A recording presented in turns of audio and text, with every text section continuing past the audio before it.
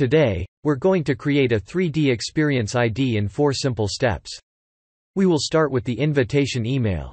Then, we'll actually create the 3D Experience ID. We will validate the 3D Experience ID. And then finally, the confirmation email. Once you have been added by the platform administrator, you will receive an invitation email.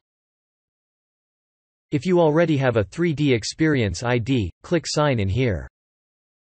Otherwise, create a new 3D Experience ID. Fill out the required fields. And then click Register. Next step of registration is validation of your email ID. Open the verification email and click on the link to validate your account.